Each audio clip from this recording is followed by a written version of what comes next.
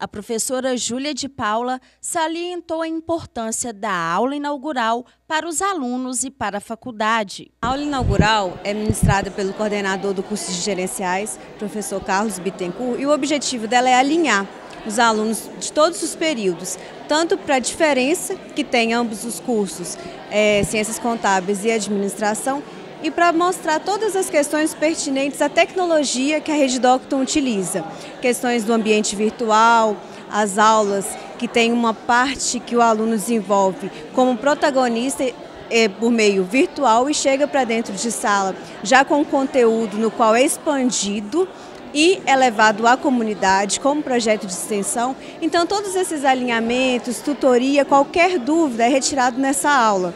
Então, é muito importante para todos os alunos terem esse alinhamento. O coordenador dos cursos gerenciais, Carlos Bittencourt, ressaltou que na aula foi enfatizado o mercado em seu âmbito geral, abrangendo as duas profissões, contábeis e administração. Hoje é um dia festivo né, para o núcleo das gerenciais, o nosso curso de administração e ciências contábeis. A gente está trazendo os alunos hoje para enfatizar um pouquinho sobre o mercado, esse mercado no âmbito geral para as duas profissões, tanto do administrador como também para o contador, e mostrar para eles os desafios que estão por vir diante dessa perspectiva do mercado. E essa aula vem fortificar também um pouco da nossa receptividade, do diferencial da Docton hoje frente aos nossos alunos. Então nós teremos a participação é, dos professores, dos líderes de turma, que vão pronunciar aí palavras de apoio e incentivo também a, aos alunos que estão chegando e aos demais alunos que já estão com a gente aí.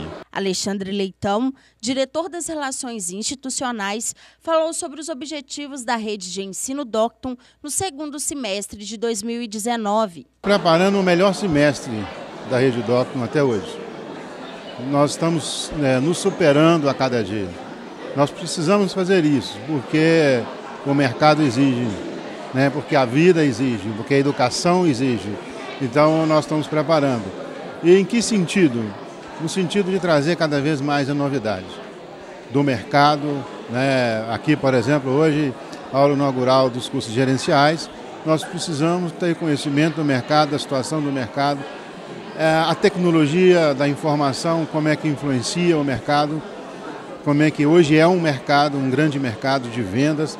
Então, é, a gente leva o aluno para esse conhecimento é, de mais inovador que tem, né?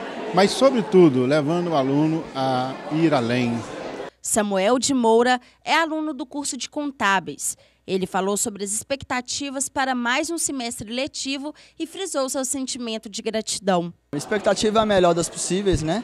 Depois do primeiro, do primeiro período que foi tão intenso, com tanta informação nova, tanta tanta informação útil para o nosso cotidiano, né, para a gente que quer ingressar na área de contábeis. Então eu acho que a expectativa ela chega já nas alturas, né?